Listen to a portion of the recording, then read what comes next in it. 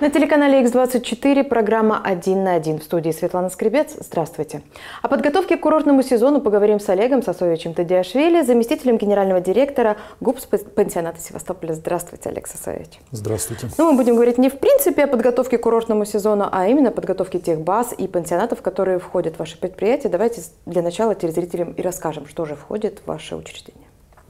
В наше предприятие входит целый ряд объектов размещения, которые могут удовлетворить спрос как в, в разном виде климатических зон, которые у нас есть в Севастополе, это и зона ЮБК, и направление Качи, Любимовка, соответственно, с разными пляжами. Это Каждый или... может выбрать, как он больше любит отдыхать. Как он больше любит отдыхать, и конечно. И кроме город. того, это еще и связано с огромнейшим количеством вариантов ценовых предложений. То есть они у нас начинаются от очень дешевых и заканчиваются даже вплоть до люксовых, дорогих объектов. Но очень дешевые мы говорим сейчас о местах для палаток или все-таки это какие-то домики, но без удобств? Это все-таки домики, но без удобств. Мы хотим отходить от вариантов палаточного размещения, потому что для нас главное, чтобы отдыхающие были в безопасности, чтобы они там не испытывали какого-то дискомфорта, а все-таки комфортность можно обеспечить только каким-то нормальным объектом размещения, чтобы у них было были твердые э, стены, крыша над головой, чтобы их никто не укусил, никакое насекомое, чтобы они там не промокли под дождем, не замерзли ночью, потому что все-таки ночами иногда бывает прохладно в Крыму даже летом. Поэтому мы говорим И только тем не менее о доступно по цене, да? И тем не менее доступно по цене, конечно. Хорошо, давайте начнем с самого главного, наверное, с жемчужины э, вашего предприятия. Это «Изумруд», пансионат «Изумруд». Где он находится, что он из себя представляет, хотя бы в двух словах для ну, тех, кто я не думаю, был. да, все севастопольцы знают о такой бухте Ласпи. Это, можно сказать, жемчужина Севастополя. Э, и наш пансионат располагается именно в этой, можно сказать, жемчужине и является жемчужиной наших объектов размещения. Пансионат достаточно большой, он располагает большой ухоженной территорией в несколько гектаров, 746 мест для отдыхающих предусмотрено в разных категориях размещения. Сейчас идет полным ходом подготовка к сезону, которая включает в себя не только те вещи, которые делаются всегда, это подрезка деревьев, озеленение, покрасить то, что нужно покрасить, да, что-то демонтировать, но и такая глобальная модернизация. Мы ведем очень э, серьезный ремонт нашего номерного фонда, создаем новые номера. Э, сейчас как раз на финишную прямую вышли, вышла подготовка номеров для людей с ограниченными возможностями, для того, чтобы они могли, те, кто ну, инвалиды-колясочники, те, кто испытывают трудности в перемещении, да, для тех, для кого нужна особая доступная среда, как раз мы делаем несколько номеров для таких категорий отдыхающих. Ну вот чтобы не быть голословными, наши коллеги с телеканала X э, побывали в пансионате «Изумруд», как раз видели эту подготовку. Давайте посмотрим и мы. Как Давайте. Это. Спасибо. В какой из номеров этого пансионата не заселись, вид из окна не разочарует. С одной стороны море, с другой горы. Но пока база отдыха пустует, первые посетители заедут в конце апреля. Времени остается немного, а нужно еще успеть подготовиться. Работы у нас много. Э, работа себя включает не только территорию, еще и номера. Э, наш э, пансионат готов примерно до 700 человек, то есть у нас где-то примерно 650 койко-мест. Соответственно, все эти номера надо подготовить после зимнего сезона, прибраться там, проверить комплектацию и прочее, прочее. То есть и непосредственно подготовить именно к началу сезона порядок приведут 6 гектаров территории вокруг трех корпусов пансионата. Это большой парк с видовыми площадками, аллеями, клумбами и фонтанами. Сейчас облагораживают газоны, обрезают кусты, белят и красят бордюры и инвентарь. Перед курортным сезоном один из основных этапов подготовки пансионата, на территории которого есть выход к морю, это обустройство пляжей. Совсем скоро здесь расстелят деревянные дорожки, установят поручни для удобного захода в воду, расставят лежаки и навесы.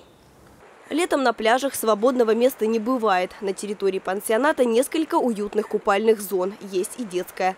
Море, горы и роща реликтового можжевельника – это не только красиво, но и полезно. Природа – одно из главных преимуществ этой базы отдыха. Воздух здесь достаточно сухой для астматиков. И э, вот э, фитонциды от этих хвойных деревьев, от можжевеловых, очень полезны. Многие с детьми сюда приезжают вот именно астматиками парке откроют развлекательные площадки. А чтобы туристам было удобно добираться до населенных пунктов, к лету организуют трансфер. Хорошо здесь в любое время года, поэтому этот сезон с наступлением холодов не закончится. В Впервые пансионат подготовят к работе зимой. Я благодарю наших коллег за подготовленный материал. Олег Сосович, ну конец апреля, это уже вот-вот. Неужели все готово и сколько первых путевок уже продано? Ну, к сожалению, нельзя сказать, что прям все готово. Конечно же, мы будем прям вот до самых конца 20-х чисел все-таки наводить последние штрихи. Но о количестве путевок, я думаю, не стоит говорить, это может какая-то Ну, в не принципе, совсем... там 10-20 человек в конце апреля заедет. Наверняка же Смотрите, не в конце- полностью будет заселена Тут вся мы база. захватываем с вами целый очень большой аспект работы, который мы ведем. Потому что мы хотим, чтобы люди приезжали в наши пансионаты не просто как, знаете, место, где можно искупаться в море и позагорать на солнце. Мы хотим продлить курортный сезон, вывести его за рамки лета. А для того, чтобы туристам было интересно, мы проводим различные событийные мероприятия. Это Ну, вы как- только планируете или уже что-то есть? Э, Мы не то чтобы планируем, у нас заключены договора, мы продолжаем эту работу. Вот сейчас то, что у нас будет в конце апреля, это, во-первых, мы приютим участников чемпионата России по скалолазанию, который будет проходить с 27 по 29 апреля как раз на урочище Кушкая. Ведь это э, замечательный скалодром открытый, э, на котором больше 30 трасс, они все внесены в реестр Спортивной Федерации скалолазания и альпинизма. И будет там проходить чемпионат. А наш пансионат «Изумруд» будет выступать в качестве принимающей стороны, в качестве партнера этого чемпионата. Я думаю, что ваш телеканал осветит это мероприятие. Обязательно. Меня больше смущает другой вопрос. А есть ли отопление? Или спортсменам не страшно? Ну, во-первых, к концу апреля у нас уже будет достаточно комфортно. Во-вторых, как я уже и говорил, и коллега отметил, что у нас идут очень масштабные ремонтные работы. Э, К сожалению, да, наши все объекты размещения, они не были готовы изначально для того, чтобы принимать людей в межсезонье. Сейчас мы пытаемся эту проблему решить. Как раз те ремонтные работы, которые ведутся у нас в номерах, они в первую очередь направлены на то, чтобы сделать возможным комфортным пребывание отдыхающих и зимой, и летом, и весной, и осенью, вот в любое время года. Поэтому мы как раз сейчас и будем запускать в первый раз пансионат наш на круглогодичную работу. И для того, чтобы, я подчеркиваю, это было интересно и увлекательно, да, потому что зимой в море вряд ли кто-то будет купаться, но мы бы хотели, чтобы отдыхающие у нас были. И вот для того, чтобы этим отдыхающим было интересно и был смысл приезжать, мы проводим различные мероприятия. Спортивные, понятно, они для спортсменов, но может быть для зрителей. Хочется же что-то сделать. Надо же с чего-то начать. Конечно. Параллельно с этим у нас, как только заканчиваются соревнования, у нас начинается сразу же первый фестиваль среди целого ряда фестивальных мероприятий, которые мы запланировали на этот сезон. Первый фестиваль у нас называется «Храм Солнца». Он посвящен у нас традиционным семейным ценностям, здоровому образу жизни, воспитанию детей. Там будет со всей России масса тренеров, наставников, которые занимаются тренингами в плане личностного роста, преодоления страхов, правильного воспитания детей в духе традиционных моральных ценностей. Вот они уже Это впервые будет проходить именно этот на базе фестиваль, вашего... он э, будет вообще в принципе пансиона. впервые проходить, э, вообще впервые в Крыму. Мы надеемся очень, что у нас получится все организовать так, как мы задумали, чтобы он стал ежегодным, и он как раз будет проходить у нас в мае. В конце апреля, начало мая это первый раз, следующий раз мы планируем провести его в октябре и сделать его ежегодным. Для того, чтобы люди со всей России и из, из Крыма тоже могли увидеть немножко по-другому наш замечательный полуостров и Севастополь в частности. Ведь у нас очень много э, различных мест, которые можно посетить.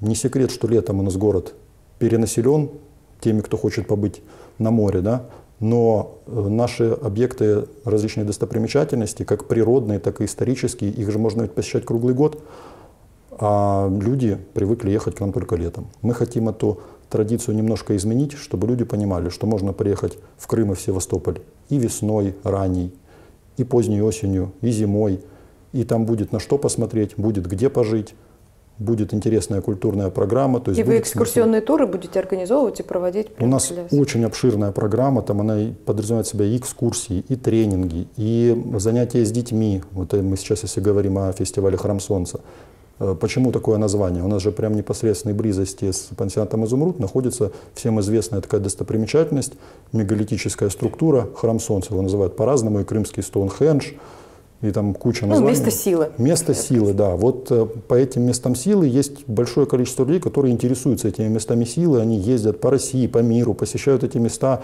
И мы хотим их привлечь, показать им, что вот в Крыму у нас есть тоже же место силы. Приезжайте, Мы будем организовывать... А мы создадим комфортные условия Комфортные того, условия, да. Мы вас повозим по экскурсиям, мы вас встретим в аэропорту, мы вас разместим, накормим. Все вам сделаем для того, чтобы вам было комфортно и замечательно. Поэтому вот с нашими партнерами мы проводим этот фестиваль впервые. Он... Приедут люди со всей России, а севастопольцам будет доступ на этот фестиваль? Конечно. Насколько конечно. свободный сейчас доступ на базу изум... изумрудов? Ну, в настоящее время база только готовится к приему гостей, поэтому То сейчас... нужны какие-то пропуски или можно оставить машину Э, наверху, допустим, сейчас, пройти, посмотреть, Вот сейчас, послушать? в данный момент, у нас ведутся, как уже мы отметили, строительные работы на территории. Поэтому, естественно, мы не можем принимать сейчас гостей. А с Но- началом сезона, вот, но с допустим, началом сезона у нас будут и доступ организован на территорию пансионата, то есть люди могут же не только жить в пансионате, да, и пользоваться его какими-то инфраструктурными объектами. Мы хотим, чтобы все севастопольцы, жители как нашего города, так и ближайших городов всего Крыма не обязательно должны были покупать путевку и жить. Ну, просто мы имели возможность приехать, отдохнуть, искупаться в море, по- подышать этим замечательным целебным воздухом и спокойно уехать к себе домой, грубо говоря, там, где они живут. Для этого у нас, естественно, будут разработаны путевки выходного дня, так называемые, которые не подразумевают проживание.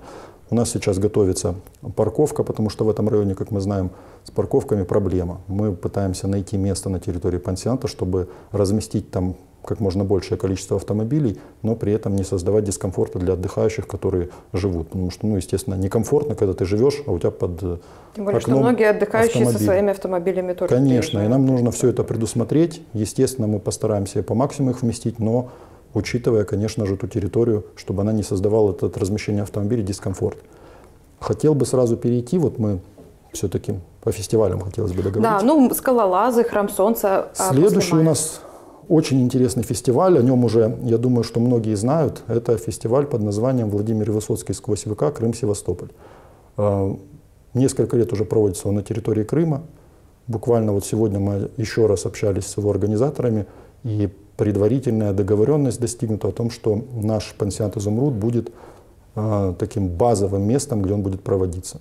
В этом году мы ориентируемся на 20 числа мая, когда он, к нам приедут коллективы со всей России, из-за рубежа, из Испании даже анонсированы коллективы, с Белоруссии, из Крыма, те, кто будут э, свое творчество связывают с Владимиром Высоцким, они будут там читать стихи, Они будут музыкальные. проживать, выступать, Они, и все это будет они будут такой общей проживать, выступать. Э, Наши партнеры, которые ор- выступают организаторами этого фестиваля, они будут организовывать трансферные заезды, экскурсии. То есть люди будут садиться на автобус. Мы еще пока определяемся, откуда будут в Севастополе их забирать.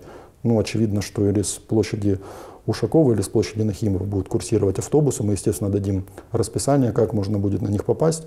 То есть зрители тоже будут присутствовать? Конечно, да. У нас Многие запланирован там на целый день концертная программа, то есть прямо на территории пансионата под открытым небом будут несколько площадок, где будут постоянно происходить выступления, меняться будут коллективы. И к вечеру у нас планируется гала-концерт, он уже будет именно в классическом виде в нашем э, кинозале. У нас же на территории пансионата «Изумруд» есть кинозал, там почти 250 человек помещается в него. То есть там будет уже гала-концерт закрытый, где 250 зрителей мы вместим и с удовольствием их поразвлекаем этой замечательной программой. И опять же, да, приедут посетители на целый день, им будет где, может быть, купить перекусить, или какой-то магазин, или какое-то место все-таки, где для приема пищи есть какие-то? Хороший вопрос. Конечно же, есть такие места. Тут, Или будут выставляться какие-то специальные палатки на к время проведения к мероприятия? сожалению или к счастью, мы же ведь действуем в жестком соответствии с законодательством. Э, И это законодательство подразумевает определенные процедуры по передаче имущества в аренду. Сейчас у нас идут как раз торги, по которым будут определены арендаторы. Мы составили определенный реестр имущества, мы составили требования, то есть чтобы у нас не хочет человек питаться в столовой, он должен иметь возможность какую-то альтернативу. Он может пойти в кафе, в бар, попитаться там. У нас будут там определенные дополнительные Ну условия. и опять же путевки выходного дня, да? То есть Конечно, человек приехал, человек с семьей, да. с детьми, ему Нет, надо ну, те, горячее кто- питание. Те, кто приедут даже у нас э, в рамках выходного дня, мы же провели уже торги, сейчас проходит процедура заключения госконтракта. У нас там будет организовано питание по системе шведский стол. Пожалуйста, любой желающий, который приедет к нам в пансионат, проживает он, не проживает, он может купить талон на питание и питаться трехразовым и питанием. Конечно. Мы еще вернемся к фестивалю. Да. Меня больше такие приземленные да, темы практически интересуют. Э, какие виды отдыха э, можете вы предложить в пансионате «Изумруд»? То есть это только комфортабельные номера с там, четырехразовым питанием или есть что-то более доступное, бюджетное? У нас в пансионате «Изумруд» 271 номер. Они разбиты на целый ряд категорий. Начиная от самых дешевых, это домики без удобств, так называемые. С электричеством? С электричеством, угу. разумеется. Но, к сожалению, удобств там в плане отдельного Ну, какое-то общественное нету. место есть, да, куда можно общественное пойти? место есть. Они, естественно, самые дешевые. Есть домики уже чуть комфортом повыше, в них есть и душ, и горячая холодная вода, и туалет. А есть... кондиционер? И обязательно. Кондиционеры, конечно же, у нас почти, почти все номера у нас оборудованы кондиционерами, потому что летом, конечно же, очень жарко, и от этой жары надо каким-то образом спасаться. Ну и, естественно, большая часть номеров расположена у нас в трех корпусах. Это первый, второй, третий корпус, в которых у нас номера от эконома и заканчивая люксом. То есть разной степени, каждый выбирает под свой Каждый кошелек, может под свое выбрать желание. абсолютно под свое желание. Мы сейчас, кроме того, ведем переговоры с нашими гупами в городе, у которых есть много сотрудников, которых нужно оздоравливать. Мы прекрасно понимаем, что не все могут себе позволить да, там какой-то купить отдых, потому что все-таки цены ну, достаточно серьезные, если так вот брать там семью и там заезжать на 21 день. Ну, получается большая сумма. Поэтому достигнуты предварительные договоренности с руководствами государственных унитарных предприятий о том, что они своих сотрудников, мы будем со своей стороны давать определенную скидку, и они будут оплачивать какую-то оплачивать часть. какую-то часть отдыха. Вот пока что мы тоже в переговорном процессе, как-то нам это надо закрепить с учетом требований действующего законодательства. Что мы бы, конечно, с удовольствием А на бесплатно- общероссийском уровне есть такие договоренности? Наверняка есть Конечно, предприятия, которые конечно, могли есть. бы оплачивать ну, 80% путевки своим сотрудникам, а 20% Понимаете, в чем суть? Мы хоть и государственное предприятие, но в то же время хозрасчетное. Нам для того, чтобы содержать наши объекты, платить налоги, э, оплачивать стоимость коммунальных услуг, э, аренду земли, на которых наши объекты расположены, нам нужно зарабатывать какую-то, какой-то доход. Если мы, соответственно, будем зарабатывать этот доход, который будет меньше, чем наши расходы, мы будем убыточны, и зачем тогда мы, такие хозяйственники, будем нужны? Поэтому, к сожалению, мы не можем давать какие-то бешеные скидки. Нет, Но предприятия, которые отправляют своих со- э, У нас, сотрудников, они могут конечно, оплачивать конечно, 60-80, работа- ведь это такая общероссийская практика. Работа у нас ведется постоянная. Мы очень заинтересованы в том, чтобы к нам направляли организованные группы туристов, различные предприятия, учреждения, организации. Вот у нас есть опыт сотрудничества с одним из приборостроительных заводов, расположенным на материковой части России. Они в этом году к нам направляют своих сотрудников. У нас э, Ну и для вас это какой-то стабильный доход. Вот вы Конечно. знаете, что вот эта часть точно будет. Конечно. Мы ведем работу и с крупными национальными туристическими операторами, которые нам поставляют отдыхающих, которые организовывают и трансферный перелет.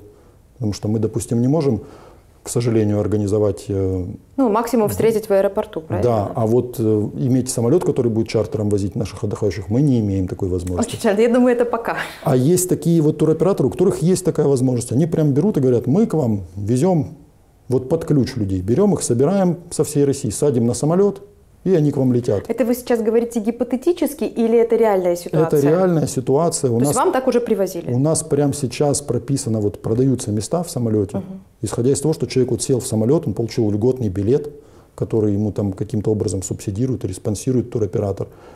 Турпакет человек покупает, и он приезжает, прямо четко понимает, что он приедет к нам в базу отдыха «Солнышко» или там в пансионат «Изумруд» или в другие наши объекты размещения. Вот он четко заезжает, и мы понимаем, что он не должен заплатить там 15-20 тысяч за билет, потому что сезон же дорогие билеты на самолет.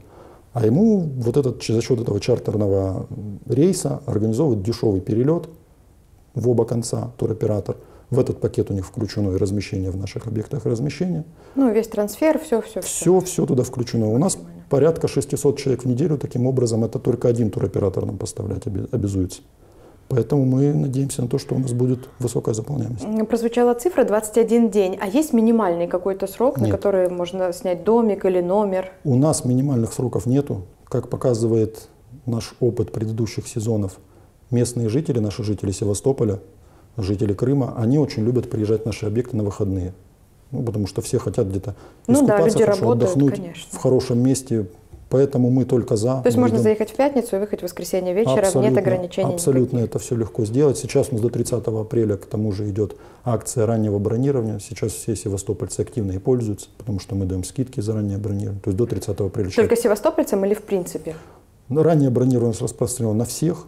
Отдельно у нас есть акции, которые, в которых могут поучаствовать только жители нашего города и жители Крыма. Ну, соответственно, при предоставлении сведений там, о регистрации мы даем тоже скидки. Скидок у нас много разных. К сожалению или к счастью, мы не можем их очень большие давать. Но там, где мы можем, мы, естественно, Но все равно приятно. Я думаю, каждый на свой кошелек уже выберет, чем он Конечно. может пожертвовать комфортом или большей суммой денег. Все верно. Даже не знаю, мне хочется еще и по фестивалям поспрашивать, и мы не поговорили о трех еще, ну, одном пансионате и двух базах, которые у вас есть. Давайте мы хотя бы обозначим, Давайте. что это за базы и пансионаты, и если у нас останется время, поговорим еще о тех фестивалях и мероприятиях, которые проводятся совместно с севастопольскими общественными организациями. Давайте. Да? Итак, помимо э, пансионата «Изумруд», что вы бы поставили на второе место? Вот смотрите, у нас мы можем разделить их по географическому признаку, да? Давайте по географическому. Давайте. Люблю Вот у нас Батилиман. Очень хороший вопрос про Батилиман. Вот в Ласпе у нас находится Изумруд, в Батилимане находится Батилиман. Э, К сожалению или к счастью, на 99% он у нас забронирован. То есть в Батилиман мы принять всех желающих уже не сможем, потому что путевки распроданы. Остался у нас всего лишь один коттедж, который мы можем предлагать. Поэтому с удовольствием в нем могут разместиться севастопольцы. Коттедж, коттедж что, что из себя представляет? Это великолепный двухэтажный коттедж, в котором с комфортом может две семьи разместиться единовременно. То есть там есть и кухня. Но это не из доступного жилья, да? Это вот больше такой... Ну, вы понимаете, комфорт тут класс. смотря как, такая очень, он очень комфортный. Он просто великолепный. Это, знаете, его можно сравнить с миниатюрой такого ласточкиного гнезда. Ну, вы Он знаете, прям на утесе строят стоит. маленький деревянный домик и называют коттеджем. Два человека еле всовываются так бочком и вроде Я как надеюсь, что вы и Батилиман снимете, чтобы были Ну, если пригласите, обязательно. Пригласим обязательно. Там он очень хороший, этот коттедж, великолепный просто. Это вот единственное, что у нас сейчас свободного есть в Батилимане. Ну, потому что мы работаем, мы Ну, Там тоже все номера. готово, пляж, Там номера. есть пляж, вот этот номер, он просто великолепный. Там две спальни, кухня, гостиная, два санузла, территория придомовая, куда можно и припарковать автомобиль, и зона для барбекю, и выход к морю. Все там есть. И если, опять же, я говорю, приезжать, не один человек это будет снимать, а вот две семьи с комфортом там разместиться, это вполне будет Ну вот у нас семья семь доступно. человек, я думаю, что ну, как раз Отлично. хватит. Великолепно там можно разместиться. Хорошо, а для тех, кто не любит э, горный климат, кто любит песочек А и... для этих людей у нас есть база отдыха «Солнышко», расположенная в Каче, есть пансионат «Лазурь», расположенный в Учкуевке, и мы должны к началу мая принять от ГУП «Водоканал» базу отдыха «Любимовка», которая расположена в Любимовке. Это для нас будет в этом году новый объект, мы его примем. Я уверен, что коллеги из ГУП «Водоканал» бережно относились к этому своему имуществу, но все равно, естественно, нам нужно будет какие-то подготовительные меры успеть до сезона сделать, чтобы принять в этом объекте тоже отдыхающих. А объект этот, как мы все знаем, пользовался большой популярностью как раз у жителей города. Там достаточно демократичные цены, при этом большой номерной фонд, порядка 540 койко-мест. И как раз я думаю, что севастопольцы у нас смогут поехать покупаться в море, пожить там, воспользоваться территорией. Ну или, наверное, тоже будет какой-то, да, возможность выходного дня использовать, приехать, отдохнуть, А вы знаете, может быть, там- просто за какую-то платную стоянку заплатить. Ну, стоянка там явно, там тоже проблемы, как и везде, со стоянкой есть, но к морю выход там абсолютно свободный. То есть пляжем этим все, я думаю, пользовались всегда. Там не обязательно как-то для этого проходить даже через территорию. Он, он пляж там доступный. Доступный для всех, поэтому здесь не думаю, что необходимость будет в какой-то путевке выходного дня. Мы просто дадим возможность прохода к пляжу.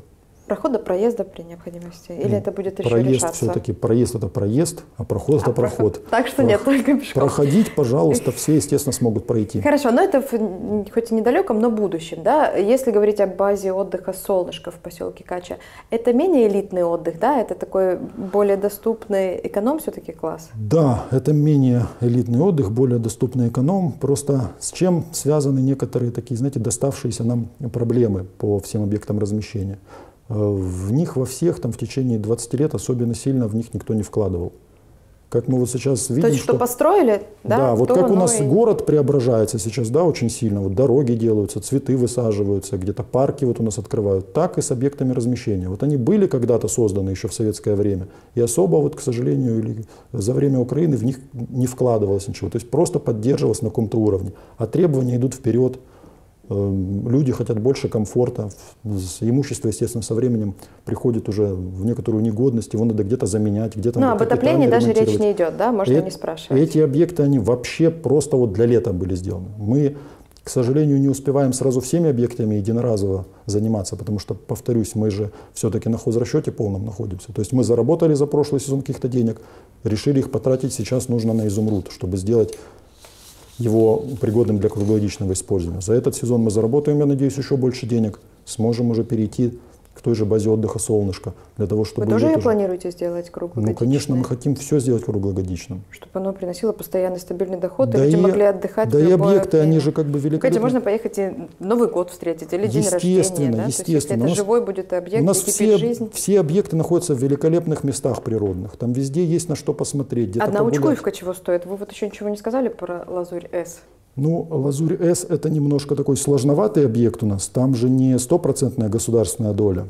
Поэтому там есть некоторые нюансы, но тоже место достаточно хорошее, интересное. Туда можно приезжать, там тоже непосредственно близости пляж Учкуевка, все его знают, огромный песчаный. Все самые-самые такие места, посещаемые, в общем-то, охвачены. Все можно... охвачены, да. И везде для местных жителей есть какие-то скидки, льготы. Конечно. Вы каким-то образом привлекаете местных жителей? Конечно. Местные жители у нас всегда в приоритете. Ну, это так приятно слышать. У нас буквально пару минут остается, и все же мне хотелось бы, чтобы вы э, обозначили те фестивали, которые пройдут с местными общественными организациями. Ну вот я, как уже и сказал, это сейчас у нас пока что два. Те, которые вот реальные, это не планы, а это уже такие, можно сказать, то, что воплощается в реальность. Храм Солнца, уже мы об этом говорили. Фестиваль, посвященный Высоцкому, мы говорили. Кроме того, мы ведем сейчас работу. Я надеюсь, что благодаря этому телевизионному эфиру откликнутся еще кто-нибудь. Мы из Федерации Тэквондо ведем общение и со спортивными федерациями, и посвященными борьбе, и легкой атлетики. Мы готовы принимать всех. Ну, вы говорили, что во время каникул, да, родители вышли с инициативой проводить какие-то мероприятия осенние, весенние, зимние на базе пансионата. Такое есть у нас общественная организация «Берегиня». Мы вот сейчас только-только начали с ними вести переговоры. Но идея Поэтому хорошая. Идея отличная, но мы же не можем вот так вот, знаете, огульно что-то сказать. Мы вот сделаем так. Нам ну, во всяком все... случае, что идут какие-то переговоры. Мы ведем переговоры, и нам нужно мало того, что провести идей. переговоры. Нам же нужно понять, что мы это сможем действительно сделать. Для этого нужны определенные ресурсы, и человеческие, и материальные. И все это нужно еще и в соответствии с требованиями законодательства, требованиями по безопасности. Ведь видите, у нас какие события происходят. Там и вот этот пожар чудовищный mm-hmm. в Кемерово. И мы понимаем, что когда какое-то массовое скопление людей где-то находится, нужно дополнительные да, безопасность меры на первом месте. принять. Да. Поэтому нам нужно все спланировать, все везде учесть, чтобы люди, если уже мы проводим что-то, чтобы это все было хорошо на достойном уровне, чтобы никто не разочаровался. Алекса Свеча, вы подсчитывали, вот четыре пансионата, да, ну, два пансионата, две базы отдыха, сколько людей вы сможете оздоровить, осчастливить за курортный сезон, вот с мая, допустим, по конец сентября? На этот, на этот год мы запланировали не менее 10 тысяч человек оздоровить. В прошлом году у нас была цифра порядка 7 тысяч. В этом году мы, я думаю, не менее 10 тысяч оздоровим. Ну, это такая реальная цифра. Это то есть реальная вы не абсолютно цифра, да, нет. А по-вашему, в чем залог успешного сезона? Знаете, залог успешного сезона в том, чтобы все службы слаженно и хорошо работали. Сейчас вот у нас запустят Крымский мост. Сюда хлынет, я думаю, все-таки поток туристов. И очень важно, чтобы они, доехав в город, да, чтобы они смогли комфортно по нему перемещаться. А это вызывает большие опасения, потому что у нас все-таки транспортная инфраструктура вряд ли сможет принять такое количество людей. Указатели вот у нас по городу расставили, я думаю, что никто не заблудится. Нужно большую работу вести для того, чтобы сделать доступным наш город для приезжающих, потому что кто-то может где-то заблудиться. Не ну, знаю, было бы здорово, чтобы эти люди потом еще вернулись к нам, не только приехали. А вот для отдохнули. этого мы должны сделать так, чтобы им все понравилось. Когда они приедут, механизм должен быть уже настолько отлажен и работать, э, чтобы вот все ваши идеи воплотились. Насколько вы считаете, уже смогли запустить этот процесс, что человек приедет и получит тот комфортабельный отдых, который вы пожелали бы себе, допустим? Понимаете, мы на самом деле Все, что от нас зависело, мы, можно сказать, процентов на 90 это уже сделали. Сейчас мы зависим в, некоторой роде от, в некотором роде так называемых смежников, потому что, допустим, мы не можем своими силами организовать питание. Для этого мы вынуждены проводить торги, в результате торгов привлекать подрядчиков. Естественно, мы выдвигаем к ним жесткие требования, будем со своей стороны их очень жестко контролировать, но всегда, знаете, может произойти какой-нибудь форс-мажор. От этого никто не застрахован. Мы надеемся, что мы обойдемся без этих форс-мажоров, и тогда все будет у нас хорошо и замечательно. Вы будете контролировать их а, и приглашать нас, а мы будем приезжать, снимать и показывать а вы нашим будете со стороны да, смотреть и говорить, вот как оно все соответствует действительности. Правда или, может, или мы что-то выдумываем, да, а на самом деле все не так. Мы же должны в условиях объективной реальности все Хорошо, это спасибо большое, Олег Сосович. Я напоминаю, что гостем студии был Олег Сосович Тадиашвили, заместитель генерального директора ГУПС пансионата Севастополя. Вы смотрели программу «Один на один». В студии для вас работала Светлана Скребец. До встречи на телеканале X24.